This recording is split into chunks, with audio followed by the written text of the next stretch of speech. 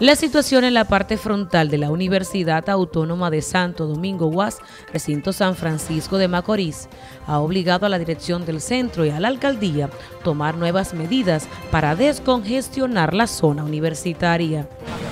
Bueno, mire, aquí tenemos al director, nuestro amigo catedrático, eh, pues don Miguel Medina, quien junto a él hemos estado convirtiendo esto por una iniciativa de él en zona universitaria. Y para eso se necesitan controles, se necesita señalización, se necesita personal, se necesita que se viabilice el puente. El puente ya está iluminado con una torre de luz que viene desde la UAS, eh, igualmente dispuesta por la dirección, eh, la policía municipal, eh, la, lo AMET estarán controlando el, el paso para viabilizar y fluir eh, todo lo que tiene que ver con el tránsito, que es una situación grave que ha estado ocurriendo.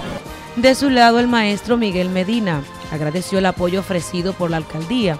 Al mismo tiempo reitera el compromiso de continuar trabajando para mantener el buen funcionamiento en beneficio de los estudiantes del recinto y la ciudadanía. Primero agradecer de nuevo la actitud del alcalde municipal, nuestro amigo Alex Díaz, desde que recurrimos a él procurando crear la zona universitaria para garantizar eh, la viabilización del tránsito y la seguridad de los peatones, la seguridad de los estudiantes, pues ha mostrado mucho interés.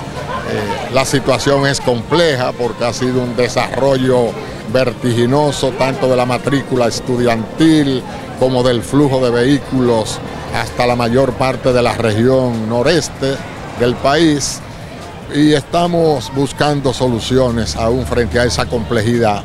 Para NTN, su noticiero regional, Joanny Paulino.